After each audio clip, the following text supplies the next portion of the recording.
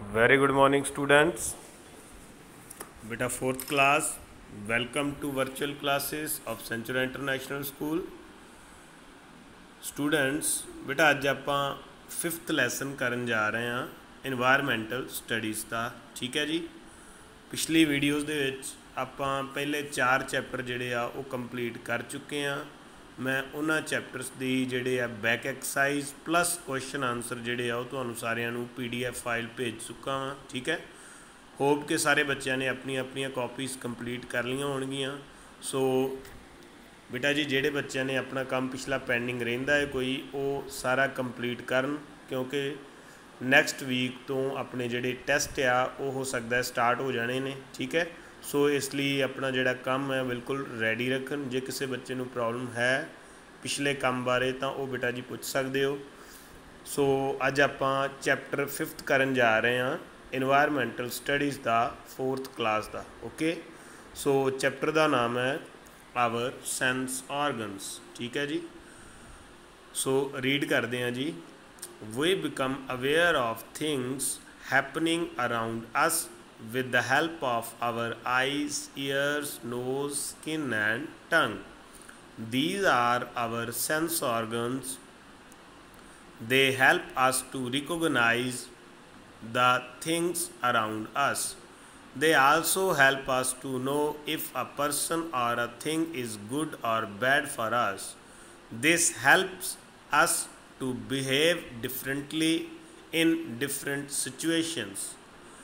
ਬੇਟਾ ਜੀ, ਇਹਦੇ ਫਰਸਟ ਪੈਰਾਗ੍ਰਾਫ ਦੇ ਵਿੱਚ ਕੀ ਦੱਸਿਆ ਹੋਇਆ ਹੈ ਕਿ ਆਪਾਂ ਆਪਣੇ ਆਲੇ ਦੁਆਲੇ ਹੋਣ ਵਾਲੀਆਂ ਹਰਕਤਾਂ ਜਾਂ ਗੱਲਾਂ, ਉਹ ਸਾਰੀਆਂ ਚੀਜ਼ਾਂ ਕਿਸ ਚੀਜ਼ ਦੇ ਨਾਲ ਮਹਿਸੂਸ ਕਰਦੇ ਆ ਉਹ ਆਪਣੀਆਂ ਅੱਖਾਂ ਦੇ ਨਾਲ, ਕੰਨਾਂ ਦੇ ਨਾਲ, ਨੱਕ ਦੇ ਨਾਲ ਸਕਿਨ ਦੇ ਨਾਲ ਤੇ ਟੰਗ ਦੇ ਨਾਲ, ਠੀਕ ਹੈ ਜੀ? ਇਹਨਾਂ ਪੰਜ ਆਰਗਨਸ ਦੀ ਹੈਲਪ ਦੇ ਨਾਲ, ਜਿਨ੍ਹਾਂ ਨੂੰ ਆਪਾਂ ਕੀ ਕਹਿ ਦਿੰਨੇ ਆ ਜੀ? ਸੈਂਸ ਆਰਗਨਸ ਠੀਕ ਹੈ ਜੀ? ਇਹਨਾਂ ਦੇ ਨਾਲ ਆਪਾਂ ਰਿਕੋਗਨਾਈਜ਼ ਰਿਕੋਗਨਾਈਜ਼ ਦਾ ਮਤਲਬ ਹੁੰਦਾ ਹੈ, ਪਤਾ ਲਗਾਉਂਦੇ ਆ ਕਿ ਆਪਣੇ ਆਲੇ ਦੁਆਲੇ ਕੀ ਹੋ ਰਿਹਾ ਹੈ।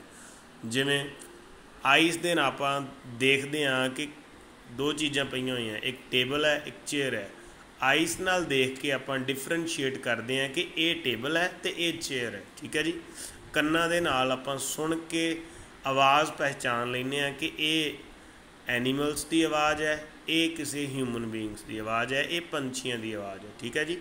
ਸਕਿਨ ਦੇ ਨਾਲ ਟੱਚ ਹੁੰਦਾ ਹੈ ਤਾਂ ਉੱਥੋਂ ਆਪਾਂ ਨੂੰ ਪਤਾ ਲੱਗਦਾ ਹੈ ਕਿ ਇਹ ਕੋਈ ਗਰਮ ਚੀਜ਼ ਹੈ ਜਾਂ ਇਹ ਠੰਡੀ ਚੀਜ਼ ਹੈ ਓਕੇ ਤੇ ਟੰਗ ਦੇ ਨਾਲ ਆਪਾਂ ਕੋਈ ਮਿੱਠੀ ਚੀਜ਼, ਕੋਈ ਕੜਵੀ ਚੀਜ਼ ਜਾਂ ਕੋਈ ਲੂਣ ਵਾਲੀ ਚੀਜ਼ ਦਾ ਸਵਾਦ ਉਹ ਮਹਿਸੂਸ ਕਰ ਸਕਦੇ ਹਾਂ, ਠੀਕ ਹੈ ਜੀ?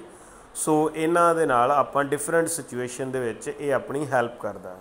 ਸਭ ਤੋਂ ਪਹਿਲਾਂ ਬੇਟਾ ਜੀ ਆਪਾਂ ਪੜ੍ਹਦੇ ਹਾਂ ਆਈਸ ਆਈਸ ਮਤਲਬ ਅੱਖਾਂ sense of sight sense of sight ਦਾ ਮਤਲਬ ਦੇਖਣ ਵਿੱਚ ਹੈਲਪ ਕਰਦੀ ਹੈ ਠੀਕ ਹੈ ਜੀ ice R the organs of sight they help us to see things around us what whether an object is close or far moving or stationary its color shape and size an object is in front of eyes an image is formed inside the eyes the nerves in the eyes send messages to brain brain reads the messages and enable us to see the objects ਠੀਕ ਹੈ ਜੀ ਸੋ ਬੇਟਾ ਇਹਦੇ ਵਿੱਚ ਕੀ ਦੱਸਿਆ ਹੋਇਆ ਹੈ ਕਿ ਅੱਖਾਂ ਸਾਡੇ ਉਹ ਆਰਗਨ ਨੇ ਜਿਹਦੇ ਨਾਲ ਆਪਾਂ ਦੇਖ ਸਕਦੇ ਹਾਂ ਠੀਕ ਹੈ ਜੀ ਕੀ ਦੇਖ ਸਕਦੇ ਹਾਂ ਕਿ ਕੀ ਕੋਈ ਆਬਜੈਕਟ ਸਾਡੇ ক্লোਜ਼ਰ ਦਾ ਮਤਲਬ ਨੇੜੇ ਹੈ ਜਾਂ ਦੂਰ ਪਿਆ ਹੋਇਆ ਹੈ ਫਾਰ ਦਾ ਮਤਲਬ ਦੂਰ, ਠੀਕ ਹੈ? ਕੋਈ ਚੀਜ਼ ਮੂਵ ਕਰ ਰਹੀ ਹੈ, ਚੱਲ ਰਹੀ ਹੈ ਜਾਂ ਸਟੇਸ਼ਨਰੀ ਹੈ, ਮਤਲਬ ਖੜੀ ਹੋਈ ਹੈ, ਕਿਸੇ ਚੀਜ਼ ਦਾ ਕਲਰ ਕੀ ਹੈ, ਉਹਦੀ ਸ਼ੇਪ ਕਿਦਾਂ ਦੀ ਹੈ, ਉਹਦਾ ਸਾਈਜ਼ ਕਿਦਾਂ ਦਾ ਹੈ, ਇਹ ਸਾਰਾ ਕੁਝ ਆਪਾਂ ਕਿਹਦੀ ਮਦਦ ਦੇ ਨਾਲ ਪਤਾ ਕਰਦੇ ਹਾਂ? ਇਹ ਆਪਾਂ ਅੱਖਾਂ ਦੀ ਮਦਦ ਦੇ ਨਾਲ ਪਤਾ ਕਰਦੇ ਹਾਂ ਓਕੇ ਫਿਰ ਬੇਟਾ ਜੀ, ਉਹਨਾਂ ਨੇ ਦੱਸਿਆ ਹੈ ਕਿ ਆਬਜੈਕਟ ਜਿਹੜਾ ਆਪਣੀਆਂ ਅੱਖਾਂ ਦੇ ਬਿਲਕੁਲ ਸਾਹਮਣੇ ਹੋਏਗਾ, ਆਪਣੇ ਅੱਖ ਦੇ ਅੰਦਰਲੇ ਪਾਸੇ ਜਿਹੜਾ ਏ, ਉਹ ਇਮੇਜ ਬਣੇਗੀ, ਉਹਦੀ ਫੋਟੋ ਬਣੇਗੀ। ਤੇ ਜਿਹੜੀ ਇਮੇਜ ਆ, ਉਹਨੂੰ ਬ੍ਰੇਨ ਤੱਕ ਲੈ ਕੇ ਜਾਊਗਾ, ਕੌਣ ਲੈ ਕੇ ਜਾਊਗਾ? ਨਰਵਸ ਲੈ ਕੇ ਜਾਣਗੀਆਂ। ਨਰਵਸ ਨੇ ਬ੍ਰੇਨ ਤੱਕ ਲੈ ਕੇ ਗਈਆਂ ਤਾਂ ਬ੍ਰੇਨ ਨੇ ਕੀ ਕਰਨਾ ਏ? ਉਸ ਮੈਸੇਜ ਨੂੰ ਰੀਡ ਕਰਨਾ ਹੈ ਠੀਕ ਹੈ ਜੀ? ਤੇ ਆਬਜੈਕਟ ਦਿਖਾਈ ਦੇ ਜਾਣਾ ਹੈ, ਆਪਣੇ ਬ੍ਰੇਨ ਦੇ ਵਿੱਚ ਇਮੇਜ ਬਣ ਜਾਣੀ ਹੈ okay our eyes are protected by eye shields eye shields ਬੇਟਾ ਜੀ, ਇਹ ਹੁੰਦੇ ਨੇ, ਇਹ ਜਿਹੜੀਆਂ ਹੇਅਰਸ ਹੁੰਦੇ ਨੇ ਨਾ ਆਈ ਦੇ ਉੱਪਰ ਇਹ ਆਈ ਸ਼ੀਲਡ ਹੁੰਦੇ ਨੇ, ਠੀਕ ਹੈ ਜੀ? Which can be closed to prevent dust or other particles or excess light from entering the eyes. Our eyes are help us in expressing feelings. ਆਪਣੀਆਂ ਅੱਖਾਂ ਜਿਹੜੀਆਂ ਅੱਖਾਂ ਦੇ ਉੱਪਰ ਉਹਨੂੰ ਬਚਾਉਣ ਵਾਲੀ ਆਈ ਸ਼ੀਲਡ ਜਿਹੜੀ ਆ, ਉਹ ਆਏ ਪਰਤ ਹੁੰਦੀ ਹੈ ਜੀ, ਠੀਕ ਹੈ ਉਸ ਤੋਂ ਬਾਅਦ ਇਹ ਅੱਖਾਂ ਜਦੋਂ ਬੰਦ ਕਰ ਲੈਨੇ ਆ, ਤਾਂ ਇਹਦੇ ਨਾਲ ਡਸਟ ਪਾਰਟੀਕਲ ਅੰਦਰ ਨਹੀਂ ਆ ਸਕਦੇ ਜਾਂ ਵਾਧੂ ਲਾਈਟ ਉਹ ਐਂਟਰ ਨਹੀਂ ਹੋ ਸਕਦੀ ਆਈਸ ਦੇ ਵਿੱਚ ਆਪਣੀਆਂ ਅੱਖਾਂ ਫੀਲਿੰਗਸ ਨੂੰ ਐਕਸਪ੍ਰੈਸ ਕਰਨ ਦੇ ਵਿੱਚ ਵੀ ਜਿਹੜਾ ਹੈ ਉਹ ਹੈਲਪ ਕਰਦੀ ਆ ਉਸ ਤੋਂ ਬਾਅਦ ਬੇਟਾ ਜੀ ਈਅਰ ਈਅਰਸ ਮਤਲਬ ਕੰਨ ਕੰਨ ਬੇਟਾ ਜੀ ਕਿਸ ਤਰ੍ਹਾਂ ਹੈਲਪ ਕਰਦੇ ਨੇ ਆਪਣੀ ਸੁਣਨ ਦੇ ਵਿੱਚ ਮਦਦ ਕਰਦੇ ਨੇ ਠੀਕ ਹੈ ears help us to hear all kinds of sound loud soft sharp dull pleasant and unpleasant. Our ears also help us to recognize dangers like breaking of, barking of dog blowing of a horn extra ਠੀਕ ਹੈ ਜੀ? ਆਪਣੇ ਕੰਨ ਜਿਹੜੇ ਆ, ਉਹ ਸਾਰੇ ਤਰ੍ਹਾਂ ਦੇ ਆਲ ਕਾਈਨ ਮਤਲਬ ਹਰ ਪ੍ਰਕਾਰ ਦੇ ਸਾਊਂਡ ਨੂੰ ਸੁਣਨ ਦੇ ਵਿੱਚ ਹੈਲਪ ਕਰਦੀ ਹੈ ਹੀਅਰ ਦਾ ਮਤਲਬ ਸੁਣਨਾ ਜਿਵੇਂ ਕਿ ਲਾਊਡ ਮਤਲਬ ਉੱਚਾ ਸੌਫਟ ਮਤਲਬ ਪਿਆਰ ਨਾਲ ਮਧਮ ਸ਼ਾਰਪ ਮਤਲਬ ਤਿੱਖਾ ਡਲ ਮਤਲਬ ਬੜਾ ਬੈਠਿਆ ਹੋਇਆ, ਠੀਕ ਹੈ ਜੀ? ਬੜੀ 뮤직 ਵੀ ਆਪਾਂ ਕੰਨਾਂ ਦੇ ਨਾਲ ਹੀ ਸੁਣਦੇ ਆ। ਤੇ ਰੌਲਾ ਜਿਹਨੂੰ ਸ਼ੋਰ ਕਹਿ ਦਿੰਨੇ ਆ ਉਹ ਵੀ ਆਪਾਂ ਕੰਨਾਂ ਦੇ ਨਾਲ ਹੀ ਸੁਣਦੇ ਆ ਇਸ ਦੇ ਨਾਲ ਹੀ ਸੁਣਦੇ ਆ ਆਪਾਂ ਨੂੰ ਰਿਕੋਗਨਾਈਜ਼ ਪਤਾ ਲਗਾਉਣ ਵਾਸਤੇ ਡੇਂਜਰ ਮਤਲਬ ਖਤਰਾ ਪਤਾ ਲਾਉਣ ਵਾਸਤੇ ਵੀ ਆਪਣੇ ਕੰਨ ਹੈਲਪ ਕਰਦੇ ਆ। ਜਿਵੇਂ ਕਿ ਕੁੱਤੇ ਦਾ ਭੌਂਕਣਾ ਤੇ ਹਾਰਨ ਦਾ ਵੱਜਣਾ, ਠੀਕ ਹੈ ਜੀ? ਇਸ ਚੀਜ਼ ਦੇ ਵਿੱਚ ਜਿਹੜਾ ਇਹਨਾਂ ਨੂੰ ਸੁਣਨ ਦੇ ਵਿੱਚ ਆਪਣੀਆਂ ਕੰਨ ਹੈਲਪ ਕਰਦੇ ਨੇ। ਬੇਟਾ ਜੀ next page yes The outer ear catches sound from the surrounding and send them to inner ear. The nerves in the inner ear send messages to the brain. The brain reads the messages and enable us to hear the sound. ਬੇਟਾ ਜੀ ਕੰਨ ਆਪਣੇ ਦੇ ਆਪਣੇ year ਦੇ ਦੋ ਹਿੱਸੇ ਹੁੰਦੇ ਨੇ ਦੋ ਪਾਰਟਸ ਹੁੰਦੇ ਨੇ ਕਿਹੜੇ ਕਿਹੜੇ ਇੱਕ ਹੈ ਜੀ ਆਊਟਰ ਈਅਰ ਤੇ ਇੱਕ ਹੈ ਇਨਰ ਈਅਰ ਠੀਕ ਹੈ ਜੀ ਬਾਹਰਲਾ ਕੰਨ ਅਤੇ ਅੰਦਰਲਾ ਕੰਨ। ਬਾਹਰਲਾ ਕੰਨ ਕੀ ਹੈਲਪ ਕਰਦਾ ਏ? ਉਹ ਸਾਊਂਡ ਨੂੰ ਕੈਚ ਕਰਦਾ ਏ ਰਿਸੀਵ ਕਰਦਾ ਏ, ਕਿੱਥੇ ਭੇਜ ਦਿੰਦਾ ਏ? ਇੰਟਰਨਲ ਈਅਰ ਤੱਕ, ਜਿੱਥੇ ਕੀ ਹੁੰਦਾ ਹੈ ਜੀ? ਨਰਵਸ ਹੁੰਦੀਆਂ ਨੇ, ਠੀਕ ਹੈ ਜੀ? ਬਰੀਕ ਨਾੜਾਂ ਜਿਨ੍ਹਾਂ ਨੂੰ ਕਹਿ ਦਿੰਦੇ ਆ ਉਹਨਾਂ ਨਾੜਾਂ ਦੇ ਰਾਹੀਂ ਮੈਸੇਜ ਕਿੱਥੇ ਪਹੁੰਚਦਾ ਹੈ ਜੀ? ਦਿਮਾਗ ਤੱਕ ਬ੍ਰੇਨ ਤੱਕ ਪਹੁੰਚਦਾ ਹੈ ਤੇ ਬ੍ਰੇਨ ਜਿਹੜਾ ਹੈ ਉਹ ਸਾਰੇ ਮੈਸੇजेस ਨੂੰ ਰੀਡ ਕਰਦਾ ਹੈ ਤੇ ਆਪਾਂ ਨੂੰ ਸੁਣਾਈ ਦੇਣ ਲੱਗ ਪੈਂਦਾ ਹੈ। ਠੀਕ ਹੈ ਜੀ? ਉਸ ਤੋਂ ਬਾਅਦ ਤੀਜਾ ਆਰਗਨ ਹੈ ਬੇਟਾ ਜੀ ਨੋਜ਼ ਨੋਜ਼ ਮਤਲਬ ਨੱਕ। ਸੈਂਸ ਆਫ ਸਮੈਲ ਨੱਕ ਆਪਾਂ ਨੂੰ ਕਿਸ ਤਰ੍ਹਾਂ ਹੈਲਪ ਕਰਦਾ ਹੈ ਜੀ? ਸਮੈਲ ਵਿੱਚ। ਠੀਕ ਹੈ ਜੀ? ਜਿਹਨੂੰ ਆਪਾਂ ਕਹਿ ਦਿੰਦੇ ਆ ਸੁੰਗਣ ਵਿੱਚ। ਠੀਕ ਹੈ? Our nose helps us to smell things Some smells are pleasant, such as the smell of a rose or good food. Some smells are unpleasant such as the foul smell of garbage. We cover our nose to keep out of foul smell. The smell of perfume reaches the nose. The nerves in the nose send messages to the brain the brain reads the messages and enable us to smell the perfume ਬੇਟਾ ਜੀ, ਇਹਦੇ ਵਿੱਚ ਕੀ ਦੱਸਿਆ ਹੋਇਆ ਹੈ ਕਿ ਨੱਕ ਸਾਡਾ ਚੀਜ਼ਾਂ ਨੂੰ ਸੁੰਘਣ ਦੇ ਵਿੱਚ ਹੈਲਪ ਕਰਦਾ ਹੈ।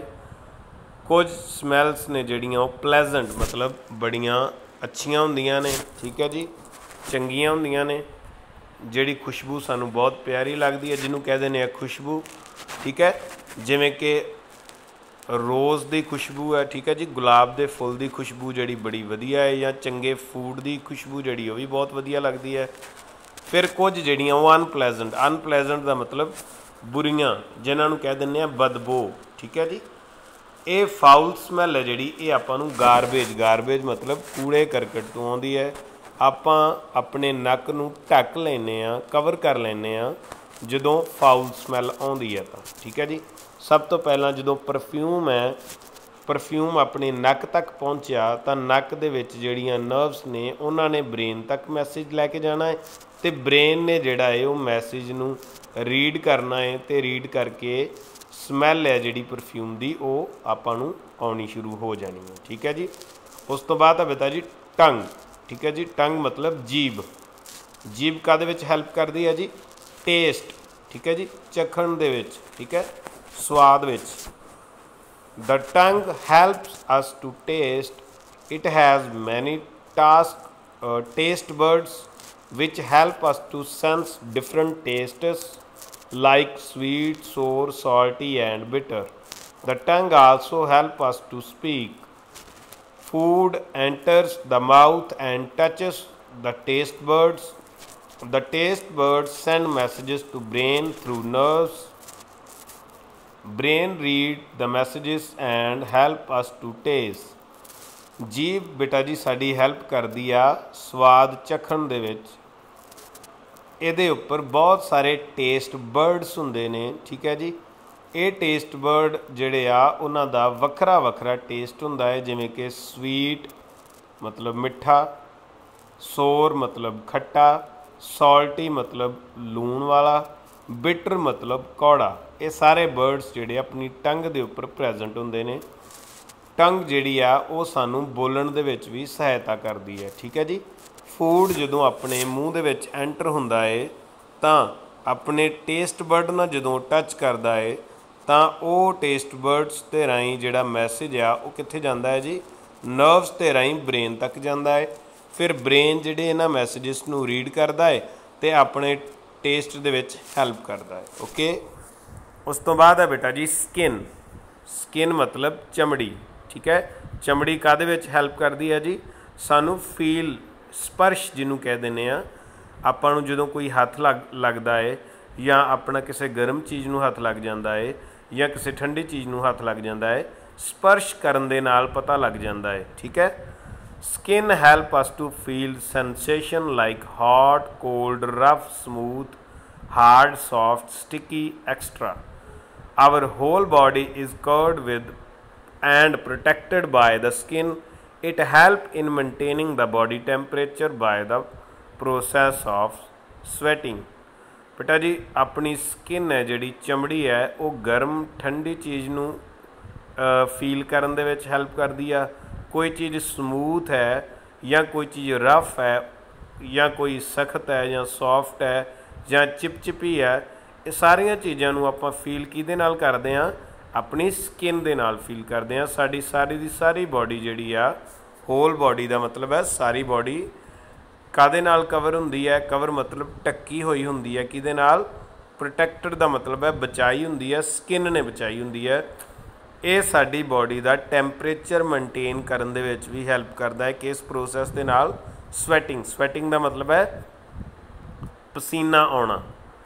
ਸਕਿਨ ਦੇ ਰਾਹੀਂ ਪਸੀਨਾ ਬਾਹਰ ਨਿਕਲਦਾ ਹੈ ਜਿਹਦੇ ਨਾਲ ਸਾਡੀ ਬਾਡੀ ਦਾ ਟੈਂਪਰੇਚਰ ਜਿਹੜਾ ਉਹ ਮੇਨਟੇਨ ਰਹਿੰਦਾ ਹੈ ਓਕੇ ਨੈਕਸਟ ਪੇਜ ਬੇਟਾ ਜੀ the skin touches an object the nerves of the skin send messages to the brain ਜਿਹੜੀਆਂ ਨਰਵਸ ਨੇ ਉਹ ਬ੍ਰੇਨ ਤੱਕ ਮੈਸੇਜ ਪਹੁੰਚਾਉਂਦੀਆਂ ਨੇ brain reads the messages and enable us to feel the object ਜਦੋਂ brain messages ਨੂੰ read ਕਰਦਾ ਹੈ ਤਾਂ ਉਸ ਤੋਂ ਬਾਅਦ ਆਪਾਂ ਨੂੰ ਆਬਜੈਕਟ ਫੀਲ ਹੋਣਾ ਸ਼ੁਰੂ ਹੋ ਜਾਂਦਾ ਹੈ ਓਕੇ ਉਸ ਤੋਂ ਬਾਅਦ ਹੈ ਬੇਟਾ ਜੀ different touches all of us like the touch of our mother we feel the love and warmth in her touch but the touch of all people are not the same we feel uncomfortable when some people touch us in an unfriendly way We should keep away from such people.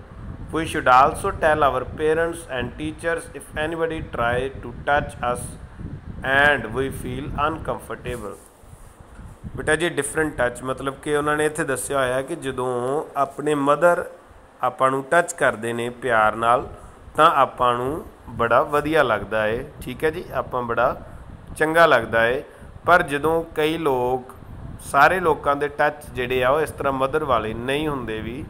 ਕਈ ਲੋਕ ਜਿਹੜੇ ਸਾਨੂੰ uncomfortable feel ਕਰਵਾਉਂਦੇ ਨੇ, ਮਤਲਬ ਕਿ ਆਪਾਂ ਨੂੰ ਚੰਗਾ ਮਹਿਸੂਸ ਨਹੀਂ ਹੁੰਦਾ। ਜਦੋਂ ਉਹ ਸਾਨੂੰ ਅਨਫ੍ਰੈਂਡਲੀ ਮਤਲਬ ਕਿਸੇ ਦੋਸਤਾਨਾ ਤਰੀਕੇ ਨਾਲ ਆਪਾਂ ਨੂੰ ਟੱਚ ਨਹੀਂ ਕਰ ਰਹੇ, ਆਪਾਂ ਨੂੰ ਗੁੱਸੇ ਨਾਲ ਟੱਚ ਕਰ ਰਹੇ ਆ, ਠੀਕ ਹੈ ਜੀ? ਜਾਂ ਕਿਸੇ ਹੋਰ ਫੀਲਿੰਗ ਦੇ ਨਾਲ ਟੱਚ ਕਰ ਰਹੇ ਆ।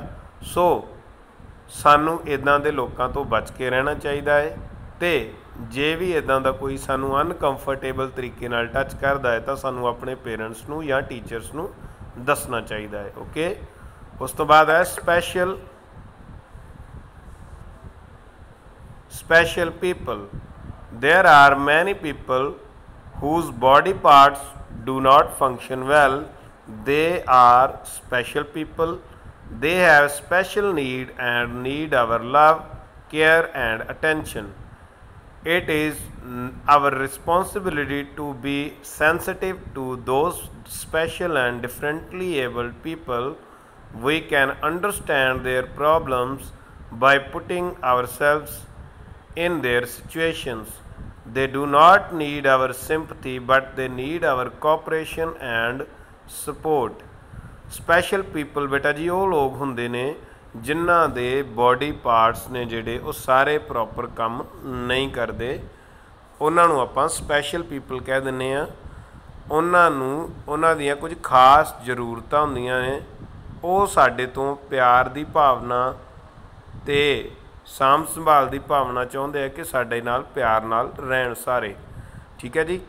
ਇਸ ਲਈ ਸਾਡੀ ਰਿਸਪੌਂਸਿਬਿਲਟੀ ਦਾ ਮਤਲਬ ਹੈ, ਜ਼ਿੰਮੇਵਾਰੀ ਹੈ ਕਿ ਆਪਾਂ ਉਹਨਾਂ ਲੋਕਾਂ ਦੇ ਲਈ ਪਿਆਰ ਦੀ ਭਾਵਨਾ ਆਪਣੇ ਮਨ ਦੇ ਵਿੱਚ ਰੱਖੀਏ, ਠੀਕ ਹੈ ਜੀ? ਆਪਾਂ ਉਹਨਾਂ ਦੀਆਂ ਭਾਵਨਾਵਾਂ ਨੂੰ ਅੰਡਰਸਟੈਂਡ ਕਰੀਏ, ਪਛਾਣੀਏ, ਉਹਨਾਂ ਦੀਆਂ ਪ੍ਰੋਬਲਮਸ ਨੂੰ ਜਿਹੜਾ ਹੈ ਸੋਲਵ ਕਰਨ ਦੇ ਵਿੱਚ ਹੈਲਪ ਕਰੀਏ, ਠੀਕ ਹੈ ਜੀ? ਉਹਨਾਂ ਨੂੰ ਸਾਡੀ ਦਇਆ ਸਿੰਪਥੀ ਮਤਲਬ ਦਇਆ ਦੀ ਲੋੜ ਨਹੀਂ ਹੈ, ਉਹ ਸਾਡਾ ਕੋਆਪਰੇਸ਼ਨ ਮਤਲਬ ਸਾਡਾ ਸਾਥ ਚਾਹੁੰਦੇ ਨੇ ਸਪੋਰਟ ਦਾ ਮਤਲਬ ਵੀ ਸਾਥ ਹੁੰਦਾ ਹੈ ਤਾਂ ਉਹ ਸਾਡਾ ਸਾਥ ਚਾਹੁੰਦੇ ਨੇ, ਨਾ ਕਿ ਸਾਡੇ ਤੋਂ ਦਇਆ ਦੀ ਆਸ ਰੱਖਦੇ ਨੇ। ਓਕੇ ਸੋ ਬੇਟਾ ਜੀ, ਇਹਦੇ ਨਾਲ ਆਪਣਾ ਜਿਹੜਾ ਚੈਪਟਰ ਹੈ, ਉਹ ਕੰਪਲੀਟ ਹੋ ਗਿਆ ਹੋਇਆ ਹੈ। ਅੱਜ ਆਪਾਂ 5th ਚੈਪਟਰ ਜਿਹੜਾ ਹੈ, ਉਹ ਰੀਡ ਕੀਤਾ ਹੈ। 5th ਚੈਪਟਰ ਦਾ ਨਾਮ ਹੈ ਸੈਂਸ ਆਰਗਨ ਬੇਟਾ ਜੀ, ਆਪਣੇ ਪੰਜ ਸੈਂਸ ਆਰਗਨਸ ਨੇ। ਪਹਿਲਾ ਕਿਹੜਾ ਹੈ ਜੀ? ਆਈਸ ਈਅਰ ਉਸ ਤੋਂ ਅੱਗੇ ਨੋਜ਼ ਟੰਗ ਤੇ ਉਸ ਤੋਂ ਲਾਸਟ ਤੇ ਸਕਿਨ ਠੀਕ ਹੈ ਜੀ? ਪੰਜ ਸੈਂਸ ਆਰਗਨ ਨੇ, ਪੰਜੇ ਸਾਨੂੰ ਅਲੱਗ-ਅਲੱਗ ਤਰੀਕੇ ਨਾਲ ਆਪਣੇ ਆਲੇ ਦੁਆਲੇ ਦੀਆਂ ਚੀਜ਼ਾਂ ਦਾ ਪਤਾ ਲਗਾਉਣ ਵਾਸਤੇ ਹੈਲਪ ਕਰਦੇ ਨੇ। ਓਕੇ ਬੇਟਾ ਜੀ? ਸੋ ਬੇਟਾ ਮੈਂ ਇਹਨਾਂ ਦੇ ਨਾਲ ਤੁਹਾਨੂੰ ਦੋ ਕੁਐਸਚਨ ਭੇਜ ਰਿਹਾ ਵਾਂ, ਠੀਕ ਹੈ ਜੀ? ਉਹਨਾਂ ਦੋਨਾਂ ਕੁਐਸਚਨਸ ਨੂੰ ਤੁਸੀਂ ਸੋਲਵ ਕਰਨਾ ਹੈ, ਠੀਕ ਹੈ? ਉਹਨਾਂ ਦੇ ਆਨਸਰ ਲੱਭਣੇ ਆ, ਜੇ ਤਾਂ ਲੱਭ ਲਏ, ਠੀਕ ਹੈ? ਨਹੀਂ ਤਾਂ ਮੈਂ ਜਦੋਂ ਨੈਕਸਟ ਲੈਕਚਰ ਦੇ ਵਿੱਚ ਤੁਹਾਨੂੰ ਉਹ ਕੁਐਸਚਨ ਜਿਹੜਾ ਉਹਦਾ ਆਨਸਰ ਦੇ ਦੇਵਾਂਗਾ ਨਾਲ ਦੀ ਨਾਲ ਹੀ। ਠੀਕ ਹੈ ਜੀ? ਤੁਹਾਡਾ ਬੇਟਾ ਜੀ ਕੰਮ ਕੀ ਹੈ? ਤੁਸੀਂ ਇੱਕ ਰਾਈਟਿੰਗ ਪੇਜ ਕਰਨਾ ਹੈ ਆਈਸ ਤੋਂ ਲੈ ਕੇ ਇੱਥੋਂ ਤੱਕ। ਠੀਕ ਹੈ ਜੀ? ਐਕਸਪ੍ਰੈਸਿੰਗ ਫੀਲਿੰਗ ਤੱਕ। ਓਕੇ ਰਾਈਟਿੰਗ ਪੇਜ ਸਾਰੇ ਬੱਚਿਆਂ ਨੇ ਜ਼ਰੂਰ ਕਰਨਾ ਹੈ। ਠੀਕ ਹੈ? ਰਾਈਟਿੰਗ ਪੇਜ ਕਰਨ ਤੋਂ ਬਾਅਦ ਜਿਹੜਾ ਕੁਐਸਚਨ ਦਿੱਤੇ ਹੋਏ ਨੇ, ਮੈਂ ਦੋ, ਮੈਂ ਦਵਾਂਗਾ ਤੁਹਾਨੂੰ ਨਾਲ ਇੱਕ ਫੋਟੋ ਜਿਸ ਤੋਂ ਵੀਡੀਓ ਆਏਗੀ, ਵੀਡੀਓ ਦੇ ਨਾਲ ਫੋਟੋ ਵੀ ਭੇਜਾਂਗਾ। ਤੁਸੀਂ ਉਹਨਾਂ ਦੇ ਆਨਸਰ ਲਿਖਣੇ ਨੇ, ਜੋ ਮੈਂ ਸਾਰਾ ਕੁਝ ਸਮਝਾਇਆ ਹੋਇਆ ਵਾ, ਉਹਦੇ ਵਿੱਚੋਂ ਹੀ ਉਹਦਾ ਆਨਸਰ ਹੋਏਗਾ। ਲੱਭਣੇ ਨੇ ਤੇ ਤੁਸੀਂ ਆਨਸਰ ਉਹਨਾਂ ਦਾ ਲਿਖਣਾ ਹੈ। ਤੇ ਪਲੱਸ ਇੱਕ ਰਾਈਟਿੰਗ ਪੇਜ ਕਰਨਾ ਹੈ। ਓਕੇ ਬੇਟਾ ਜੀ? ਸੋ ਅੱਜ ਲਈ ਇੰਨਾ ਹੀ। Thank you and have a nice day